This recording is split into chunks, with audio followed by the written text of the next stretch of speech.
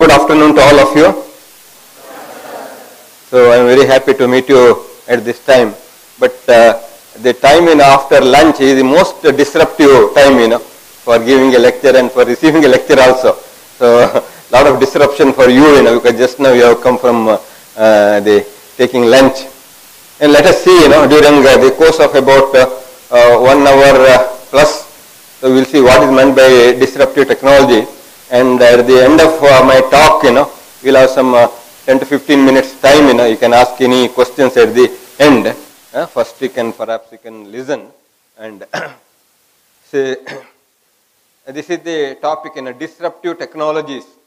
So here I, know, I have two examples of disruptive technology.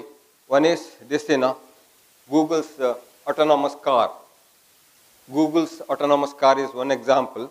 And the other example is this, you know, this. Who is this? This is not a human being, but this is Sophia. This is Sophia, robot.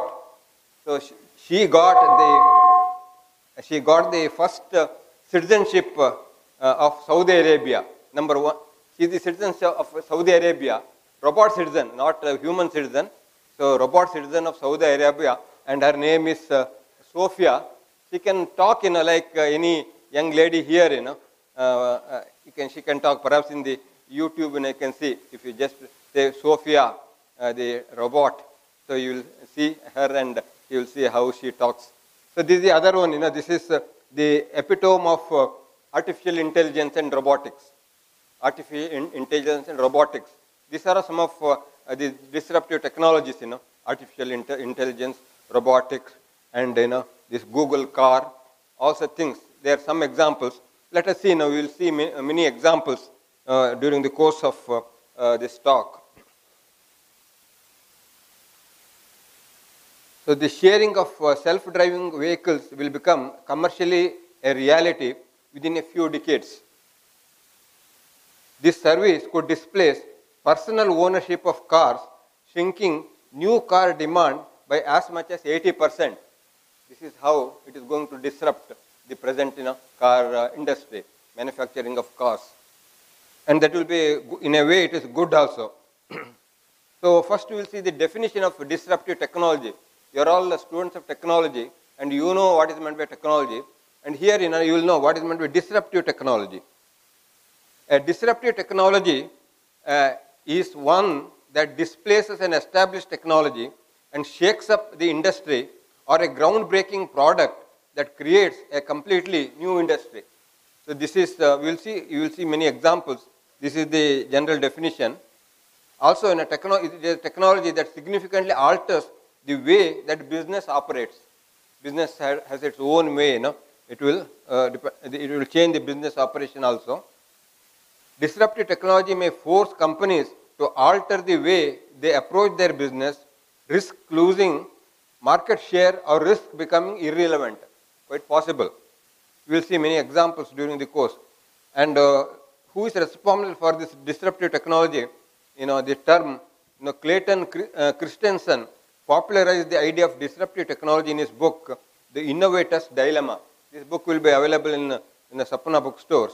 Innovator's Dilemma, very popular book. So he first introduced this concept of uh, disruptive technology. Examples, I, in the beginning I will give you many small, small examples. One example, of course, is the personal computer PC displaced the typewriter and forever changed the way we work and communicate. Nowadays, you know, no one uses typewriter. We, all of us use PC. That is one disruptive technology. And email transformed the way we communicate, largely displacing letter writing and disrupting the postal and greeting card industries. You agree? Cell phones made it possible for people to call us anywhere and disrupted the telecom industry. Smartphones largely replaced cell phones and PDAs, personal digital assistants.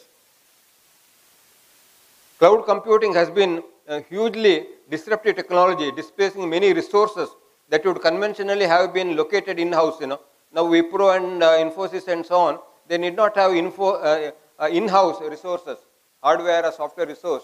So they can, both of them can use uh, cloud so that from the cloud they can uh, download anything, you know, and use. Social networking, so like, uh, you know, uh, Facebook, FaceTime and so on, that has disrupted telephone, email, instant messaging and so on. And because of this, you know, some will become bankrupt and some companies will become the bankers. Some will become bankrupt and some will become rich bankers. So let us see one or two examples. Some of the disruptive technologies are the semiconductor microchip, the internet, the steam power, the software tools, new business models, etc. in the industrial revolution. In 1988, so about uh, you know 29 years ago, Kodak had 1, 1 lakh 70,000 employees and sold 85% of all photo paper worldwide. This was about uh, 18, 19 years ago. They had 1 lakh 70,000 employees and 85% of all photo paper worldwide. They had the business. But what happened? Disruption took place. Within just a few years, their business model had disappeared and they be, became, went bankrupt. Kodak became bankrupt bankrupt because of the popularity of digital cameras. So all of you use digital camera. So this is a such a disruptive technology. Software will disrupt most traditional industries in the next five to ten years. That is the strength of software. And you have heard of Uber. I think Uber is there in Mangalore also. Mysore, Bangalore, everywhere Uber is there. So Uber is just a software tool. They don't own any cars and are now the biggest taxi company in the world. In, America also they have this Uber, you know, in Mangalore or Mysore, Bangalore, everywhere they have, but they don't own any cars and are now the biggest taxi company in the world because of the software. And there is in Airbnb, like you know Uber. Airbnb is now the biggest hotel company owning no hotels. Through the software, you know, you can uh, book in anywhere a room, you know, in, the, in, in any hotel. So no hotel at all, at all using the software, you know, it has become a very big company. So these are the, you know, 34 uh, most uh, disruptive technologies, you know, we will not uh, go through all the details like, you know, smart dust 4D print, uh, forget about 3D printing, you know, they are talking about 4D printing and all such things, you know, quantum computing, uh, like this, virtual personal assistants, IoT platforms, smart robots, machine learning, natural language question answering and so on. So these are some of the disruptive technology, you know, 34 technologies, you know, now they talk about, you know. So according to Soren Kaplan, some of the dis disruptive technologies, you know, one is of course 3D printing. So then in a cloud computing, mobile devices, then what is known as SOLOMO, social, mobile, local, collaboration technology, automation, augmented reality, big data, wearable computers, you know, wearable systems, sensors, beacons and networks, robotics, so, and others, you know, these some of other important uh, disruptive technologies according to uh, the uh, technologist Soren Kaplan. And uh, we are in the fourth industrial revolution, but uh, we should not forget that, you know, we passed through three industrial revolutions. Industrial revolution number one, two, three, and we are in the fourth industrial revolution. What were the first three? The first industrial revolution used water and steam power to mechanize production, water and steam power. And the second used electrical power. So from water and steam, second industrial revolution was use of electrical electrical power. Use, they used to tell, you know, do everything electrically. Do everything electrically and so on, you know. When at that time, in electronics was not there, computers were not there, do everything electrically. That was the second revolution. And the third was a digital revolution which used electronics and information technology, IT, to automate production. So this is the third industrial revolution. And fourth also industrial revolution, this, all this of third is there, plus now a fourth industrial revolution is building on the third, the digital revolution that has been occurring since the middle of the last century. This is the fourth one. And about the fourth industrial revolution, you know, let us uh, see two, three slides. It is characterized by a fusion of technologies. The fourth one, which we are passing through now, it, it, is, it is a fusion of technologies that is blurring the lines between the physical, digital, and biological sphere. Like in biotechnology, bioinformatics, and so on. Now, it is a fusion of many things, physical things, digital things, biological spheres and so on. This is the fourth one. There are three reasons why today's transformations represent not merely a prolongation of the third industrial revolution, but rather the arrival of a fourth and distinct one from the point of view of you know, very fast in the velocity, the scope, and the system's impact they have. The speed of current breakthroughs has no historical precedent. Such a fast rate it is taking place. When compared with the previous industrial revolutions, the fourth is evolving at an exponential rather than a linear space. It is exponentially increasing, not linearly. Moreover, it is disrupting almost every industry in every country, not only in India, in America also is doing the same thing. And the breadth and depth of these changes herald the transformation of entire system of production, management and governance, you know, lot of changes take place. The possibilities of billions of people connected by a mobile device with unprecedented processing power, storage capacity and access uh, to knowledge are unlimited. And these possibilities will be multiplied by emerging technology breakthroughs in fields such as artificial intelligence, which I already mentioned, robotics, the Internet of Things, autom- uh, autonomous vehicles, 3D printing, and uh, nanotechnology, biotechnology, material science, energy storage, and quantum computing also. So this quantum computing, you know, when it is available, it will become very much faster than the present day, the supercomputers. Already, uh, artificial intelligence is all around us, from self-driving cars, say Google cars, and drones, drones you have seen, to virtual assistants and software that translates or investment. Digital fabrication technologies, meanwhile, are interacting with the biological world on a daily basis. Now, engineers, designers, and architects are combining computational design, you see, additive manufacturing, materials engineering, and synthetic biology to pioneer a symbiosis. It is a symbiosis, it is a combination between microorganisms, our bodies, the products we consume, and even the buildings we inhabit. You know, such a grand convergence is taking place in this fourth industrial revolution. And what is the theory of this uh, uh, disruptive innovation?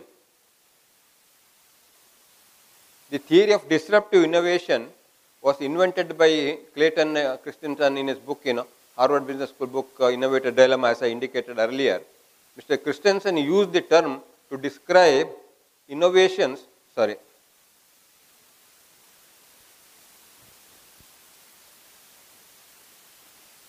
term to describe uh, the uh, innovation that create new markets by discovering new categories of customers. They do this partly by harnessing new technologies, but also by developing new business models and exploiting old technologies in new ways. You know, this also they are doing, exploiting old technologies in new ways. The theory further continues Clayton Christensen con, uh, contrasted disruptive innovation with sustaining innovation. Two terms, you know. One is disruptive innovation with sustaining innovation. These are the two words which simply improves existing products. The sustaining innovation means it simply improves the existing uh, models. But here, this is uh, uh disruptive innovation is uh, different. Personal computers, for example, uh, were disruptive innovations because they created a new mass market for computers because of you know, Bill Gates. It happened because of Bill Gates and his Windows. So previously, expensive mainframe computers had been sold to big companies and research universities. Not so now. 3D printing could disrupt manufacturing. So even you know uh, motorcycles are uh, you know made by 3D printing. But perhaps the most surprising disruptive innovation will come from bottom of the pyramid of entrepreneurs, you know, from the bottom up it will come. So these entrepreneurs are inventing new ways of delivering education also in the field of education also. So this will be entering and healthcare for fraction of the cost of current market leaders. The cost will come down enormously. Arrival of disruptive technologies, you know, it is very interesting to know. The technology is moving so quickly and in so many directions that it becomes challenging to even pay attention to it, you know. We are victims of next new thing. So when we are familiar with the present one, you know, so we see the next new thing. So in the case of mobiles, it is happening, you know. Next, which is the next new thing. Yet technology advancement continues to drive economic growth and in some cases unleash disruptive change, changes also. Economically, disruptive technologies like the semiconductor microchip, the internet or steam power in the industrial revolution. So in the industrial revolution one, you know, so the steam power was a disrupting technology, you know. Otherwise, you know, up to that time eh, they used to do using manual power. So then, you know, when steam power, steam power was available, so it was a disruptive technology. Transform the way we live and work, enable new business models, and provide an opening for new players to upset the established order. Business leaders and policy makers need to identify potentially disruptive technologies, very essential in, in companies. They should identify, otherwise, you know, they will become bankrupt as Kodak has become bankrupt. And carefully consider their potential before these technologies began, begin to exert their disruptive powers in the economy and society and in their organization. So they'll have to be very careful. Some examples of disruptive technologies, you know. So uh, this, of course, I indicated, you know, this uh, I, I, will skip, you know, about the Kodak. So they went bankrupt. So this uh, will skip because I have seen. And no one, you know, for example, no one thought 19 that three years later on we would never take pictures on paper film again. Now you know you don't take, you use only your mobile phone Yet digital cameras were, you see, but it took so many years, you know, digital cameras were invented in 1975 itself. But you know, it took some time, you know, till uh, before it became a, a, disruptive technology. The first one only had uh, 10,000 pixels, but uh, it followed the Moore's law, which you are very familiar. So as with all exponential technologies, it was disappointment for a long time, and they started becoming popular from 2000 onwards, you see. Although in 1975, digital cameras so only in 2000, you know, so Kodak became bankrupt. And they became very superior and got into the mainstream in only a few short years and became a death knell for Kodak. It became a death knell for Kodak. It will now happen with artificial intelligence. Now it will happen with AI, artificial intelligence, health, autonomous and electric cars, education, 3D printing, agriculture and job. It will affect agriculture also and jobs also. We have no way but to welcome to the fourth industrial revolution. We can't escape from it. So we'll have to live with it. Now we'll have to swim with it. We'll have to be very careful. It is also welcome to the exponential age. It is called exponential, it is increasing. It is the exponential age. Software will disrupt most traditional industries in the next 5 to 10 years. So new softwares will change. So software engineers will have demand in, in future also. As I said earlier, you know, Uber is just a software tool. They don't own any cars and now are the biggest tech companies. Airbnb I also mentioned. Now about drinking water, you know. So there was a, a session on drinking water in the morning. With cheap electricity comes cheap and abundant water. So desalinate water is possible now because electricity, if it becomes cheap. Desalination of salt water now only needs uh, 2 uh, uh, kilowatt hours per cubic meter. Its cost will be in America 0.25 cents, so not much. We don't have scarce water in most places. You know, uh, we only have scarce drinking water. For example, in uh, Mangalore area, etc., where there is sea, you know, no scarcity for water, but there is a scarcity for drinking water. So desalination is possible very cheaply.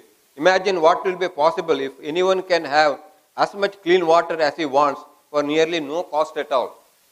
Be no cost, will very less. Then, you know, from the point of view of health, there are companies who will build medical devices called the tricorders.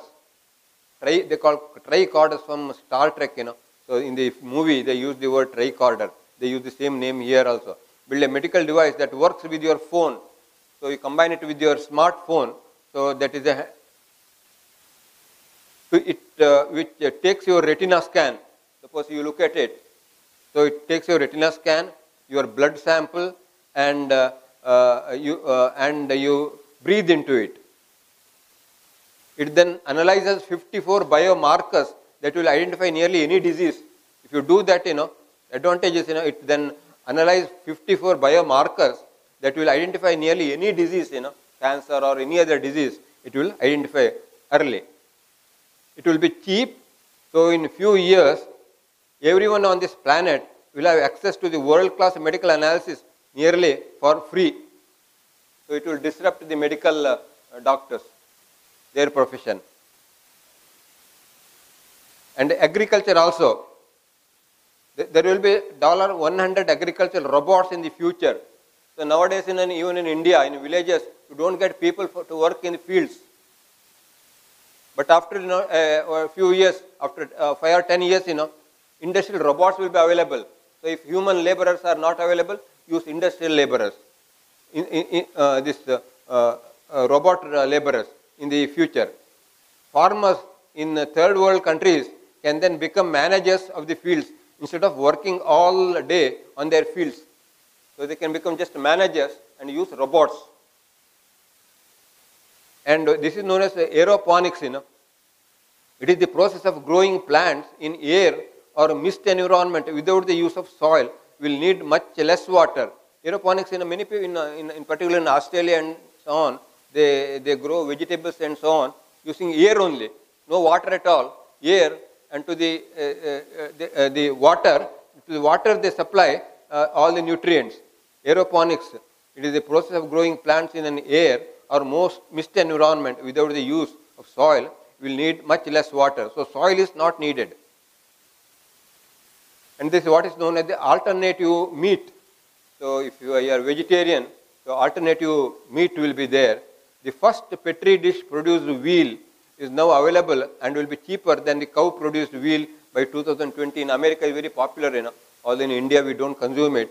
So in America, it is very popular. So you know, it will be available 2020. They say in a petri dish produced veal, actual vegetarian veal. It will taste like actual uh, uh, there are several startups which, uh, which will bring insect protein to the market shortly. Proteins from the insects they are going to bring. It contains more protein than meat. So if you want protein, they say that you eat uh, chicken, mutton, and so on. Instead of that, you know, from the insects, you know, you will get uh, you get better proteins. It will be labeled as alternative protein source because most people still reject the idea of eating insects if you say that you, eat insect, you know, if you eat chicken means you know they will uh, they will agree. But you eat insect means you know they won't agree. So they will say that it is an alternative to chicken or mutton and better also in quality. And uh, here you know uh, we see McKinsey has uh, 12 disruptive technologies changing the world. He has indicated. So one first is what is known as the mobile internet. First, so uh, you'll be seeing 12. First is mobile internet, increasingly inexpensive and capable mobile computing devices and internet connectivity will transform the 1.7 trillion internet economy. So it will uh, transform the, the 1.7 trillion internet economy and bring 2 to 3 billion more people online. So this mobile internet will bring 2 to 3 billion uh, people uh, online. India's population is about 1.4 you know, billion and world population is about 7 billion 7 billion so this will bring about 2 to 3 billion more people online and the second one is education the cheapest smartphones are already available at $10 in Africa and Asia. $10, uh, the cheapest smartphone, not ordinary phone.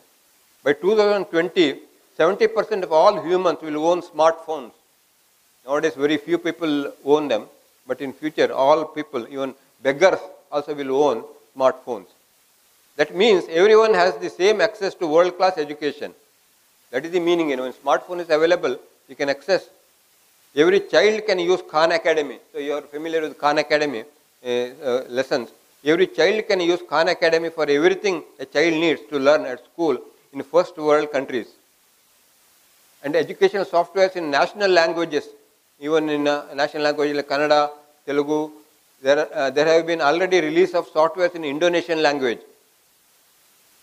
Soon there will be release in Arabic, Swahili, and Chinese this summer.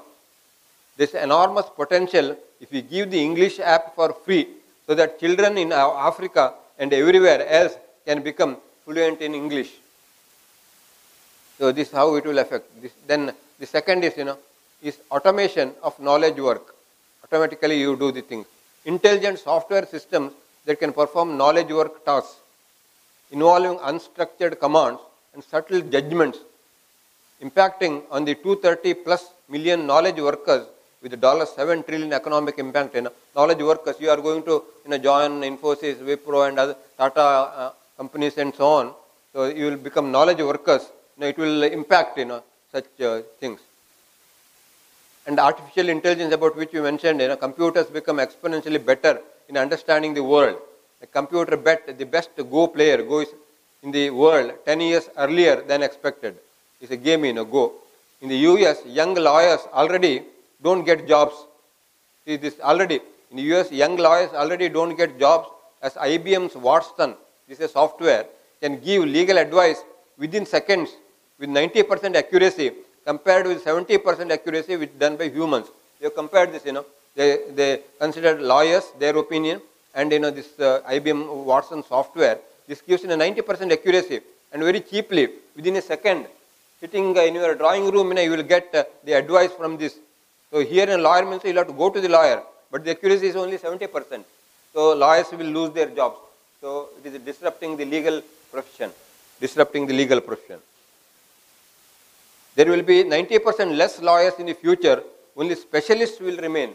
The specialists may be there. And then pattern recognition. So Watson already helps nurses diagnosing cancer four times more accurate than human nurses for diagnosing cancer. Facebook now has a pattern recognition software that can recognize faces better than humans. So it can recognize your face better than the humans. In 2030, computers will become more intelligent than humans. So now it is 2018. In another 12 years, they say computers will become more intelligent than humans. And then in about your mood, computer will also determine your mood. There is an app called Moodies, M-O-O-D-I, Moodies, which can already tell in which mood you are in.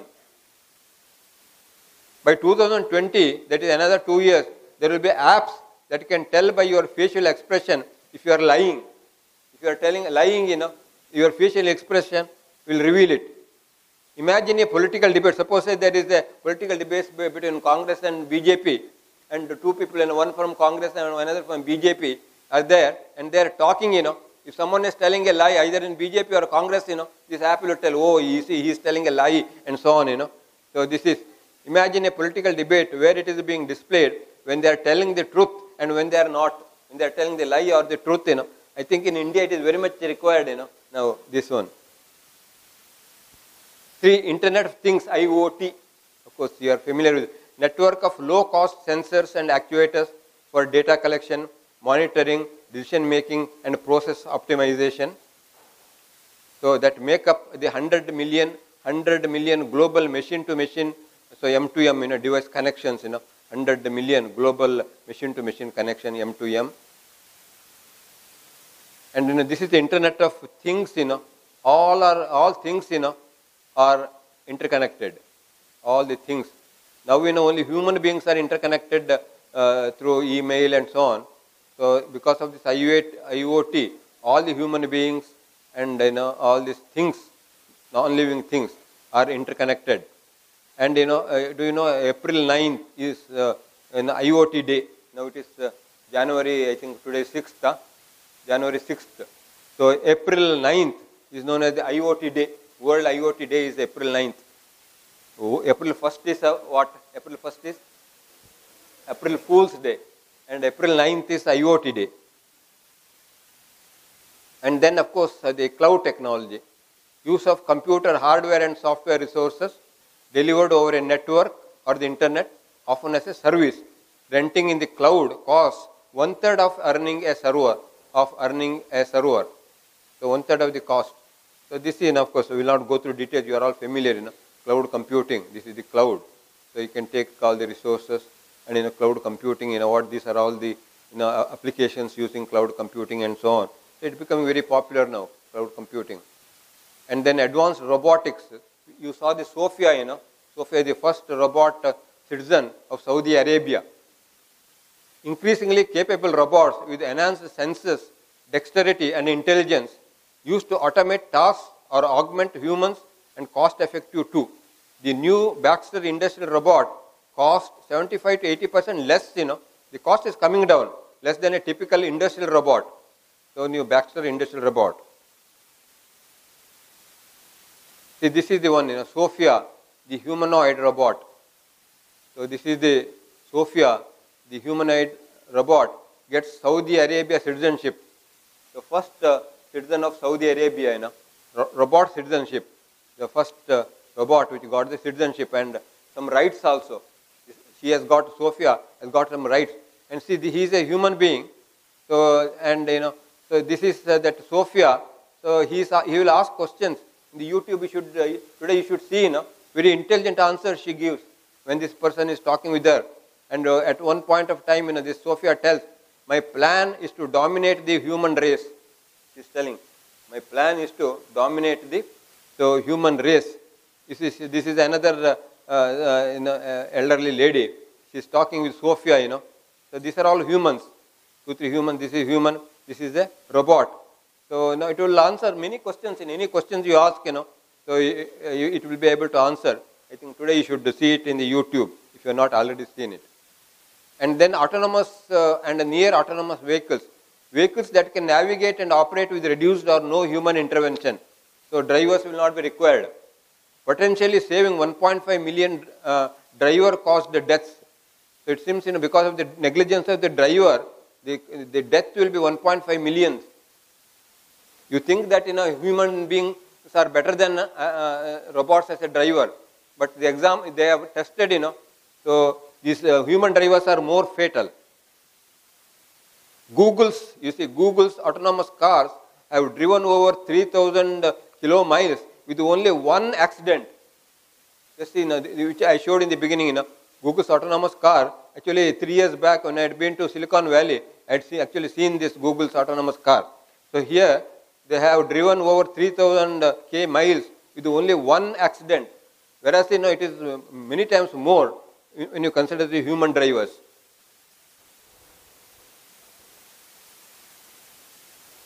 First self-driving cars will appear for the public around 2020. The complete industry will start to be disrupted.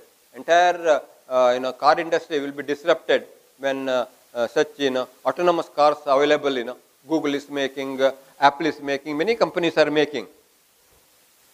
You don't want to own a car in, in that you know after uh, in the 2020 onwards. You know, you don't want to own a car anymore. You will call a car with your phone, mobile. You know, you will call a car it will show up at your location and drive you to your destination and no parking problem also. You leave it and go, it will go, it will go to its own place. You will not need to park it. You only pay for the dri uh, driven distance and can be uh, productive while driving also. So while the, uh, the uh, autonomous cars, you know, you will be doing, you can use your laptop and do any kind of work, you know, when it is driven by the machine. Our kids will never, you know, your perhaps your grandchildren or your, chil uh, your children also, your kids will never get a driver's license and will never own a car. It will change the cities because you will need 90 to 95 percent less cars for that. Now you see how many cars are there in Mangalore roads. So, so many cars will not be needed, you know. You want to own cars.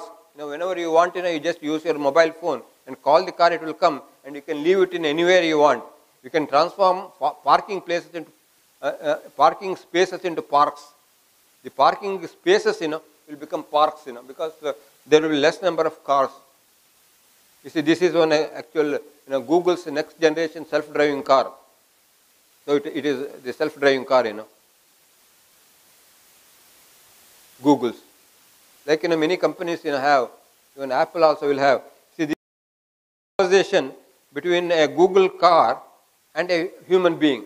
So the Google car is here coming and uh, this man wants to cross it and they are having a conversation, this human being and this you know, Google car. So uh, he is asking, you know, this human being, this is here all he is asking, these are the answers given by this car. Are you going or should I go? He is asking.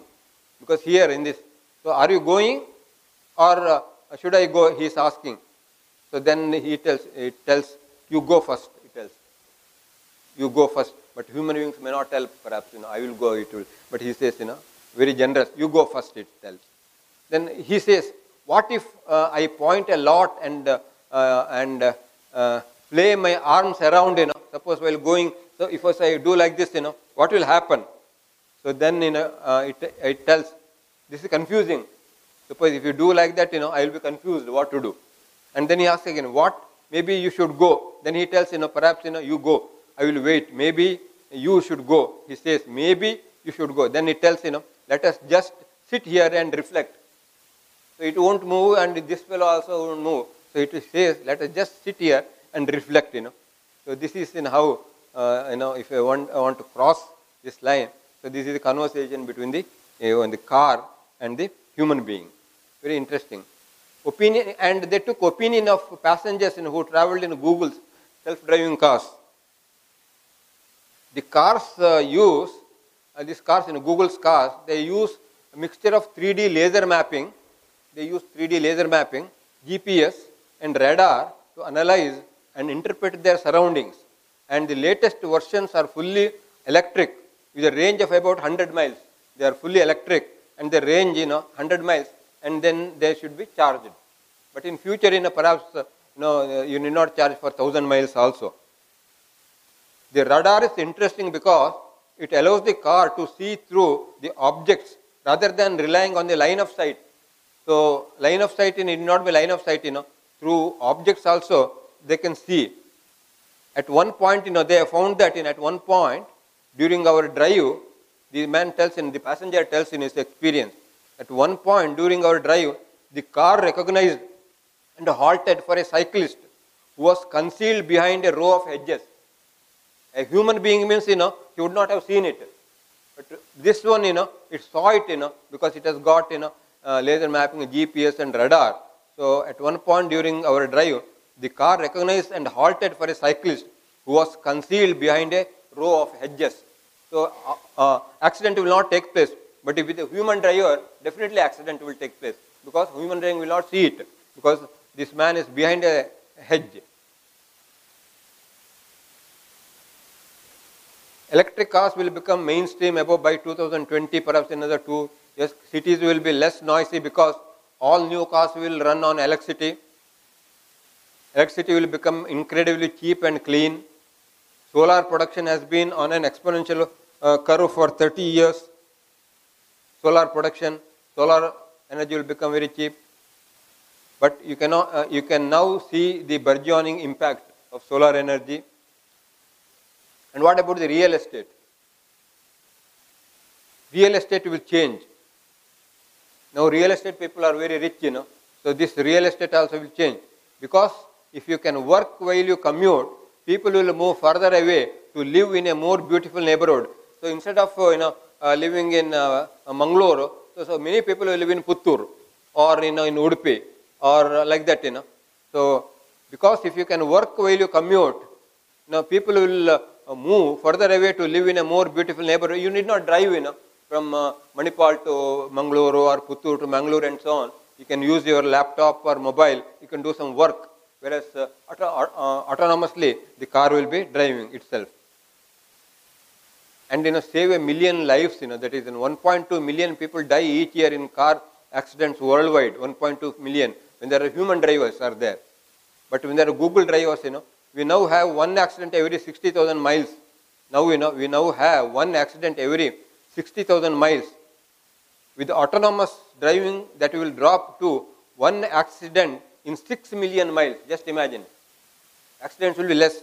So in this case, we now have one accident every 60,000 miles, whereas with autonomous driving car, that will drop to one accident in 6 million miles and 10 million kilometers. So that will save a million lives each year, you know. That is a, and car, what will happen to car companies? Most car companies will probably become bankrupt. Like photography company, you know. So car companies will become bankrupt. Traditional car companies try the evolutionary approach and just build a better car, while technical companies, you know, technology companies like you know Tesla, Apple, Google, these are you know uh, autonomous car companies now. Google, Apple is also doing work, Tesla is also doing work. Will do the revolutionary approach and build a computer on wheels. It is nothing but a computer on wheels. Many engineers from Volkswagen and Audi are completely terrified by of Tesla because Tesla, not only Tesla, Tesla, Apple and Google, you know, they are building autonomous cars. So people here so are terrified, you know, because they may it become a disruptive technology. So this is going to be a disruptive technology. And then what about insurance companies? It will affect disrupt insurance companies. Insurance companies will have a massive trouble because without accident, no accident at all. So why do you want insurance? The insurance will become 100 times cheaper. Even if you take insurance, you know, it should become 100 times cheaper because no accident at all. Their car insurance business model will disappear. Insurance companies, you know, car uh, model will disappear. And you know, regarding genes, you know, very interesting, you know, uh, next generation genomics. Fast, low cost gene sequencing is possible. Advanced big data analytics are possible. And synthetic biology, you know. So synthetic biology, that is the writing, known as writing DNA. Sequencing speed per dollar doubles every 10 months, you know. So you can sequence uh, uh, the genes, you know, uh, longevity. Right now, the average lifespan increases by three months every year per year. Now we know the average lifespan in the world increasing three months per year. So next year in 2009, uh, 2019, it will increase by three months. Four years ago, the lifespan used to be 79 years. Now it is 80 years. This is of course uh, in I think USA or Europe. In India, it is slightly less. In India, I think it is uh, not 60, 79. I think around 68 or 69 in India. This is in USA uh, or uh, Europe. Now it is 80 years, you know, there in USA. The increase itself is uh, increasing, and by 2036, there will be more than one year increase per year. So you are all very lucky. You are youngsters, you know. So 2036, now it is 18 in another 18 years, you know, it will be, you know, it will increase. Longevity will increase. So we all might live for a long uh, time, probably way more than 100 years. ಶತ ವಯಸ್ಸು ಹೇಳ್ತಾರಲ್ಲ ಆಶೀರ್ವಾದ ಕೊಡ್ತಾರೆ ನೋಡಿ ನೂರು ವರ್ಷ ಬದುಕಿ ನೀವು ಅಂತ ಸೊ ಆಗ ಏನು ಹೇಳ್ತಾರೆ ನೂರು ವರ್ಷ ಅಂತ ಹೇಳಿದರೆ ಅದು ಇಟ್ ವೆರಿ ಕಾಮನ್ ನೂರ ಹತ್ತು ವರ್ಷ ಬದುಕಿ ನೀವು ನೂರ ಇಪ್ಪತ್ತು ವರ್ಷ ಬದುಕಿ ನೂರ ಮೂವತ್ತು ವರ್ಷ ಬದುಕಿ ಅಂತ ಹೇಳ್ತಾರೆ ಏನೋ And uh, what about the energy? It is affecting energy also. Devices or systems that store energy for later use possible, including batteries, electric vehicles batteries, you know, you will get uh, efficient batteries, have dropped 40% in cost since 2009. In a, in a span of up to nine years, they have dropped, the cost has dropped by 90, 40%.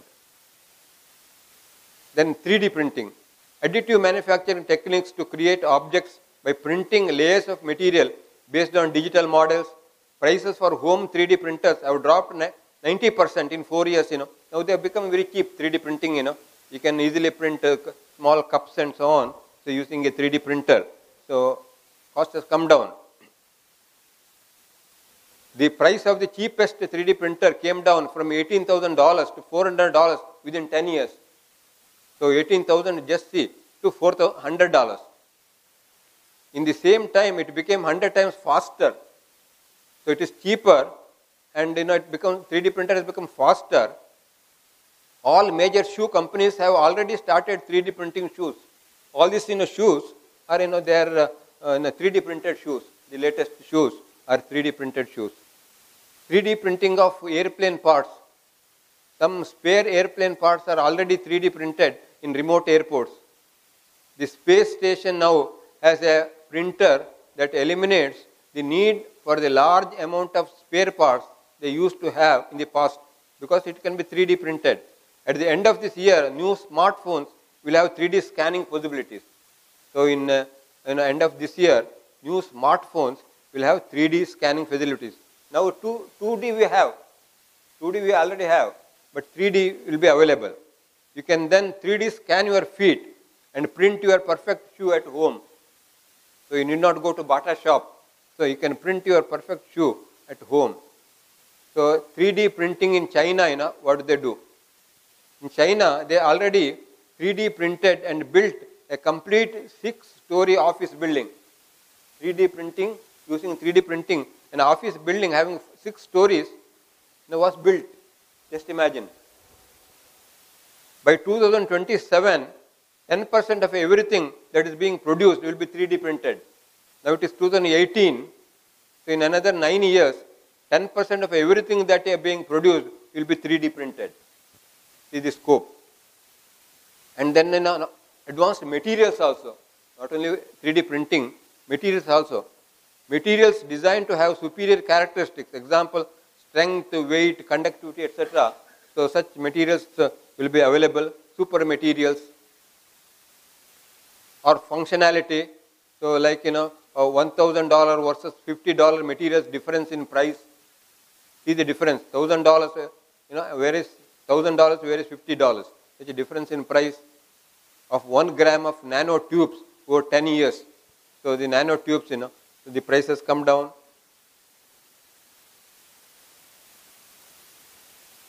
And then the 11th one, we have 12, 9, 11th one, advanced oil and gas exploration recovery, exploration and recovery techniques that make extraction of unconventional oil and gas economical, uh, fracking and horizontal drilling uh, are set to increase US oil production 100 to 200 percent by 2025. You know?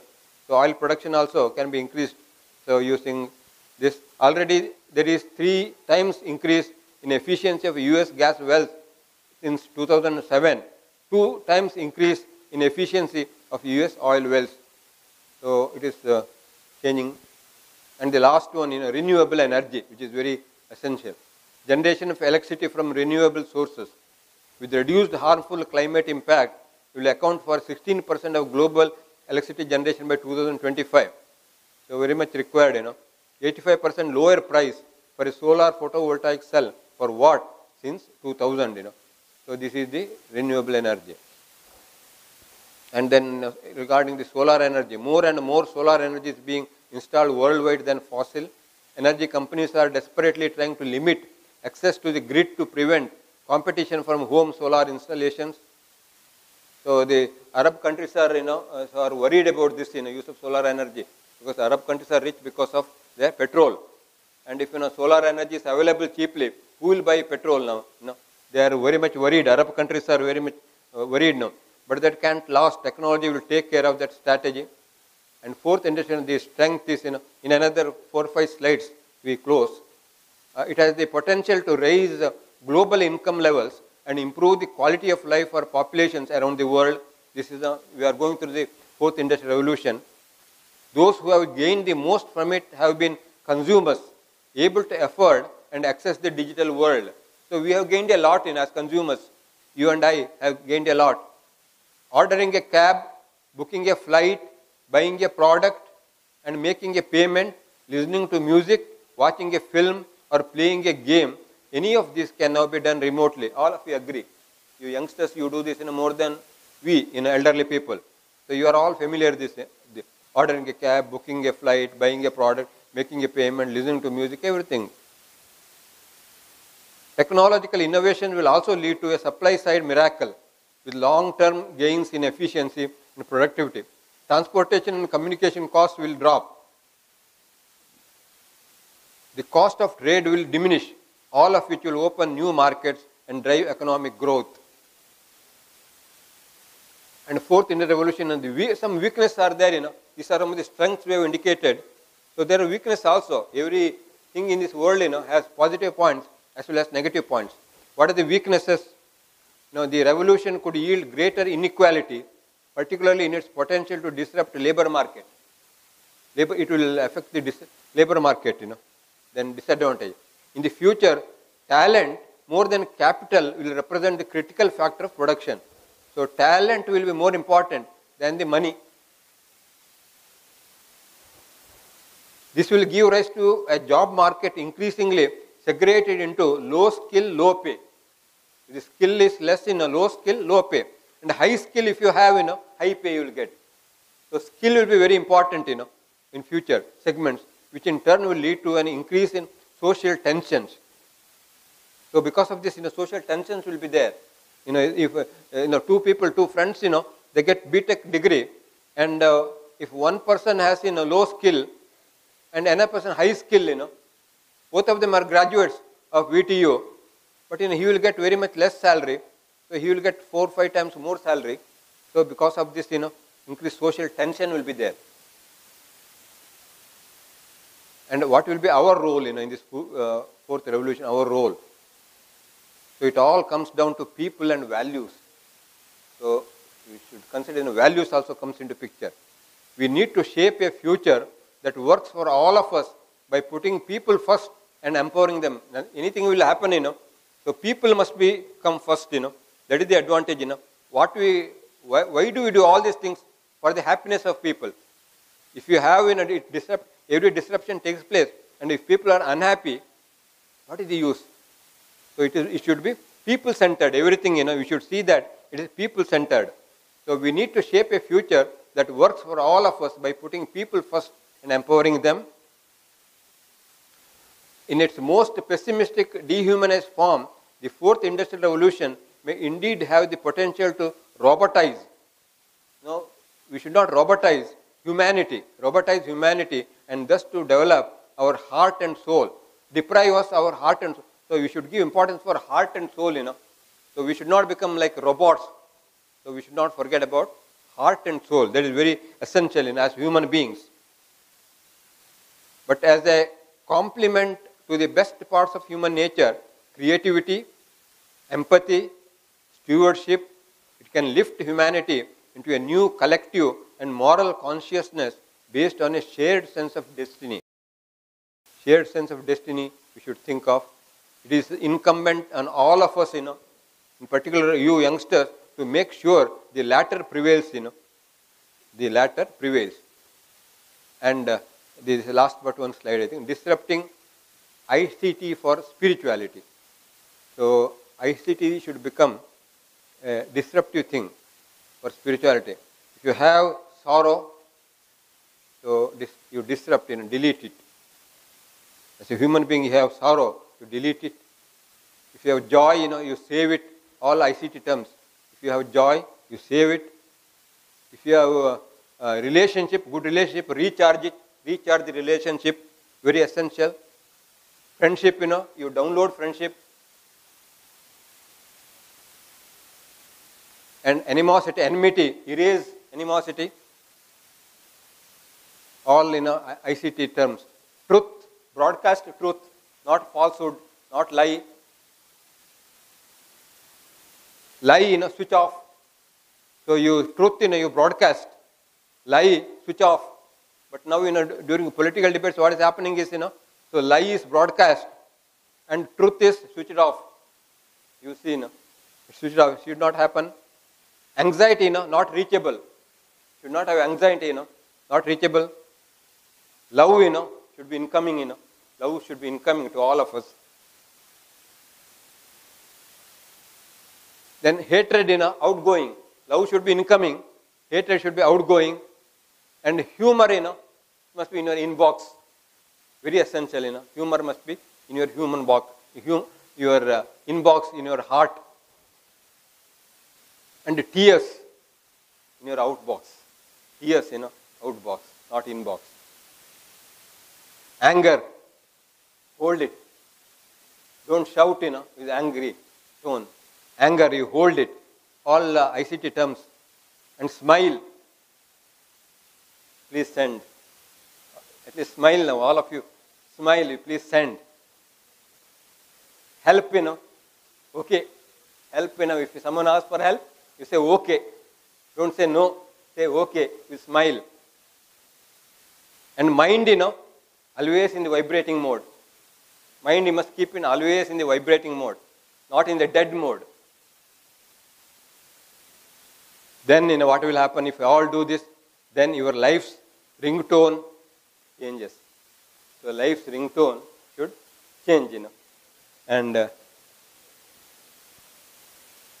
conclusion, you know, all pervasive. There is a, God also has a password. We use passwords, you know. So God also has a password. What is that? Once a man asked God, God, why you don't fulfill my wishes if you are everywhere? ನೀನು ಎಲ್ಲ ಕಡೆ ಇರೋದಾಗಿದ್ದರೆ ನಾನು ಕೇಳಿದ್ದೆ ನೀನು ಯಾಕೆ ಕೊಡಲ್ಲ ಅಂತ ಕೇಳುತ್ತದು why you don't fulfill my wishes if you are everywhere then God replied I am like wifi my child God tells I am like wifi my child I am available everywhere but you need to connect with me with a correct password. And what is the correct password? And the correct password is faith. So God tells, you know, faith you require, you know. So I sincerely uh, thank you for your uh, patient uh, listening. If you have any questions, I will be pleased to answer. Interesting and uh, uh, we're thankful to Mr. Uh, Professor K. Chidananda Gowda. On behalf of Sahyadri, a token of love uh, from our HOD, uh, CS Department, uh, Professor Sudhir Shetty. Please.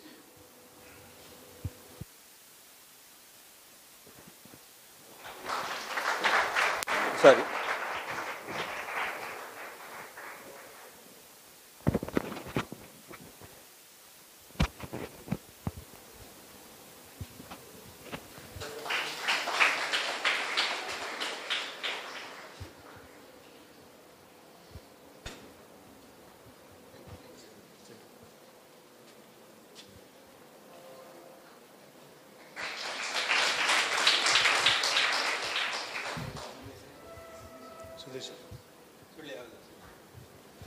Thank you, sir.